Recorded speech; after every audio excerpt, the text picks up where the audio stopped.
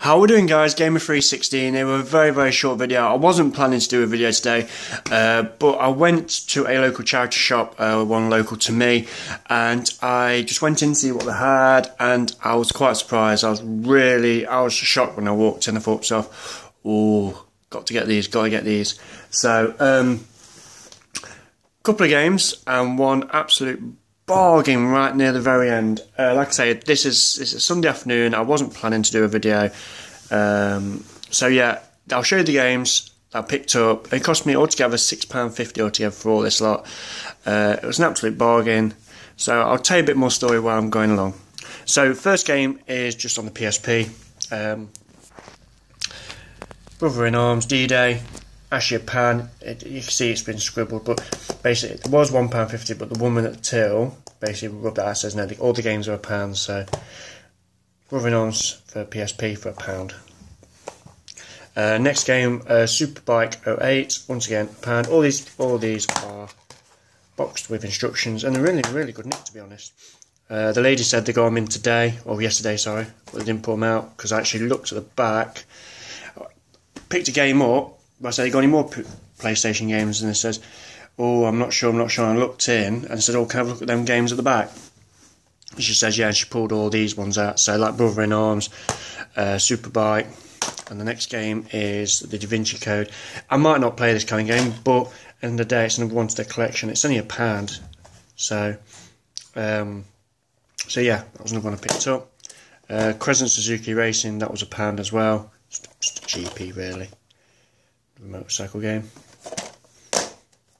Another one, uh, Moto GP 07. I've not, not seen this around. I don't know if you guys have, but yeah, once another one for a pound. So,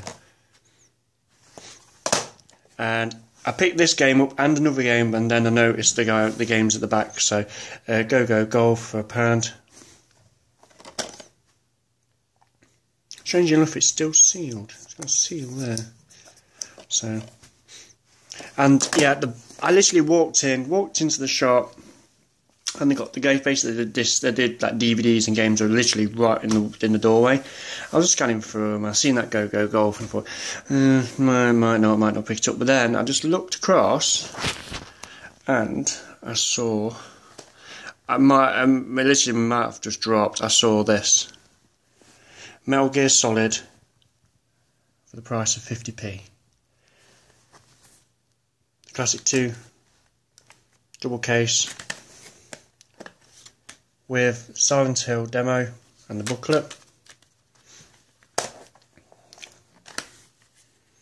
Both discs. This one and disc number two. And the manual it's it, looks, it just looks like it. It just looks like it's not. It's it's it's somebody's opened it once, was looked at the book once. So yeah, in perfect condition. Even the cards are still there, all the questionnaire cards and stuff like that. So yeah, fifty pence, and I can't you can't complain at that. This is one one game I have been looking for. Original Metal Gear Solid, absolute classic game. I've got it on my PS3 on the hard drive, but I thought no I want it on. I want it on disc so I can so I can play it. So yeah, for 50p, an absolute bargain, an absolute steal. So I'm glad I went in today. So yeah, so um, not going to do the bookcase like I normally do because it's just a quick video. Uh, if you like this video, please like and subscribe. Uh, I might go to more charity shops in, during the week and maybe the week after the week after that. Um, yeah, so if you like this video, please like and subscribe, and I hope to see you very, very soon. Cheers.